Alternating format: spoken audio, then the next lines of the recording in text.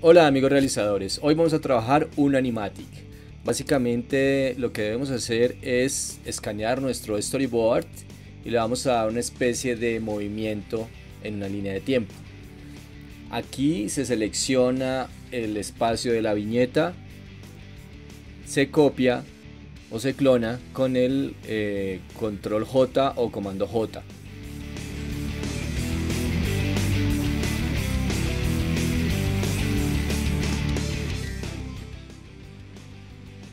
Cada viñeta clonada debe estar marcada en orden para que luego cuando hagamos la cuando llevemos toda la línea de tiempo no nos confundamos.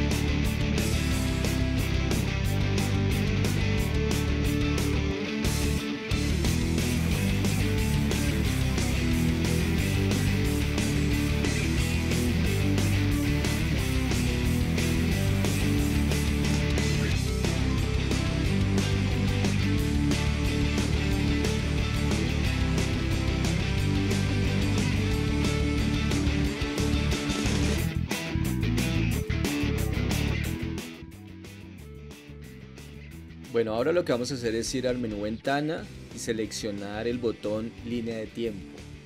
Nos aparece este panel, le vamos a dar clic en crear línea de, tiempo de video y en, este, en ese icono en donde aparecen los paneles.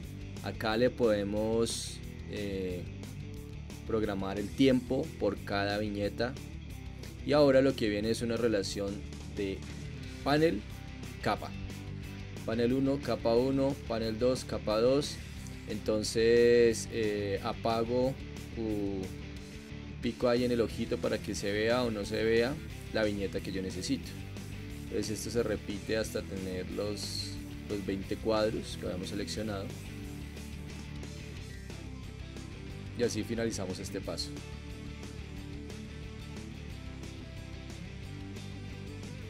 Ahora en este botón le damos infinito en esta opción y aquí ya tenemos nuestro animatic.